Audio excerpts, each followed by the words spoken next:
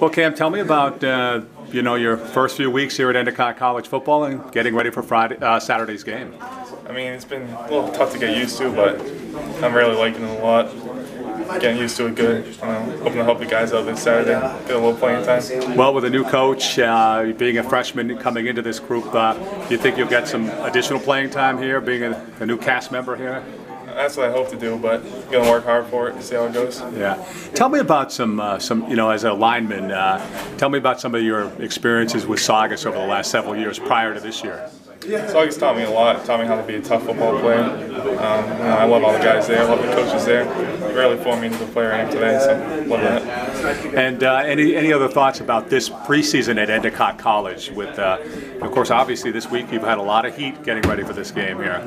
Yeah, I mean it's been hard work, but it only prepares us for the game Saturday. Yeah. Um, you know, the coaches know what they're doing. They're definitely all in. The guys are all in. We're all working hard, trying to get it done.